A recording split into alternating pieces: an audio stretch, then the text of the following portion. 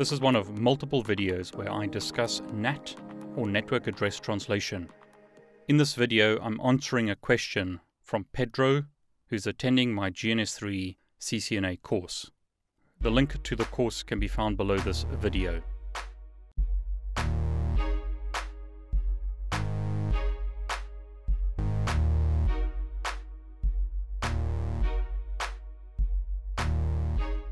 Pedro, thanks for the question. Here's the answer. In this GNS3 topology, I have three Cisco IOS routers acting as servers. I also have a Cisco IOS router acting as a PC, and we'll configure a fifth Cisco IOS vRouter with NAT to allow the client to access the three servers on the internal network. Now all I've done here is configure IP addresses on the devices. I've also configured a default gateway on the servers to point to the NAT router, but the client router has no routing enabled. So here is router 3 acting as the client. Show IP route shows us that there are no routes in the routing table except connected and local routes. No gateway of last resort is set. There's no default route no routing protocols such as OSPF, BGP, or EIGRP are enabled on this router. So if we run a debug IP packet and then try and ping one of the internal servers, this is router 1, acting as our first server, what we're told is that the packet is unroutable. The router doesn't know how to get to this destination network. The same is true for any of the other server IP addresses. The PC doesn't know how to get there because there is no routing enabled and it has no route to server 1, server 2, or server 3.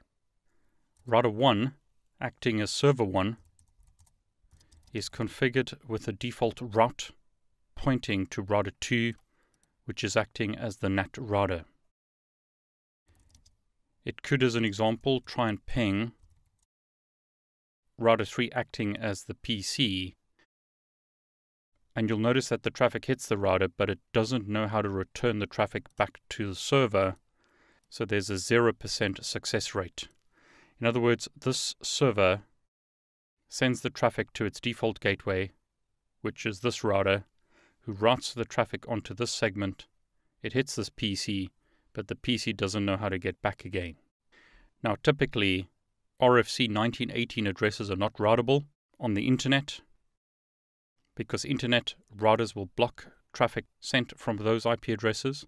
So, what we need to do is configure NAT on this router to allow this PC to access the servers and to allow their traffic to be natted when going onto the outside or the internet. So let's configure router 2 with NAT. Okay, so this is router 2, which is our NAT router. Show IP interface brief shows us the IP addresses configured on this router.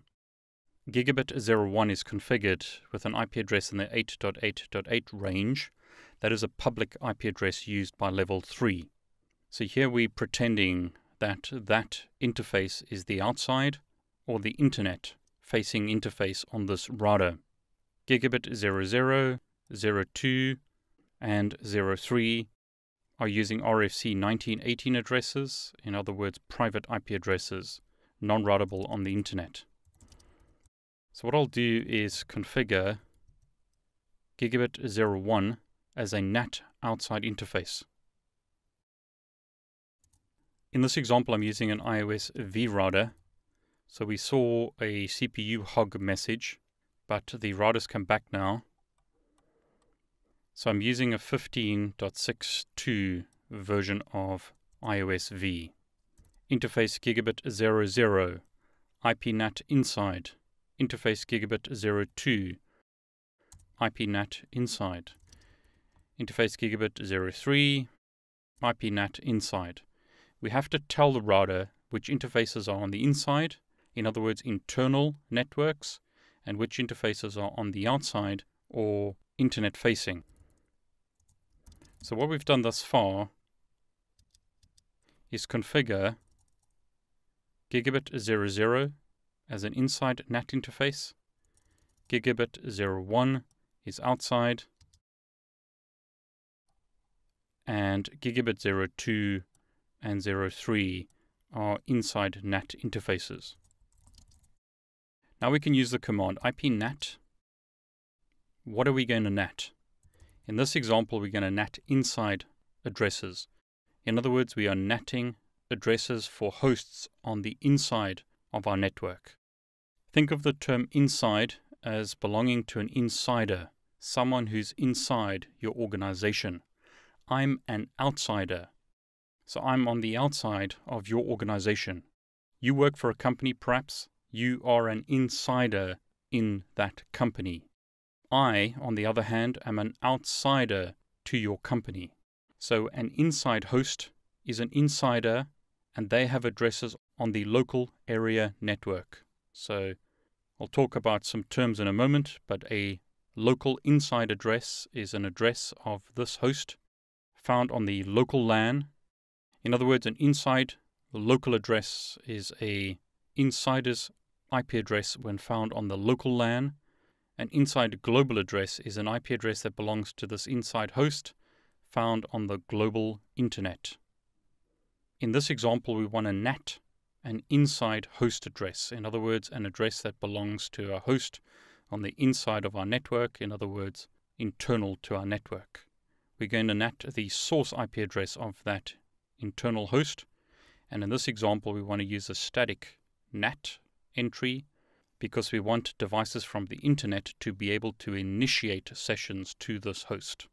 So we asked for the inside local IP address. This is the real IP address of the host. This host is on the inside of our network and it's connected to the local area network.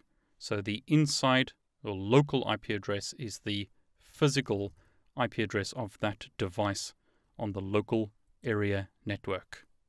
Now, what are we going to NAT the address to? In this example, I'm going to NAT it to 8.8.8.1.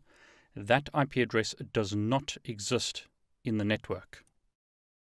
So going on to router 3, which is acting as our PC in this topology, at the moment, it's not able to ping 8.8.8.1 because that address doesn't exist.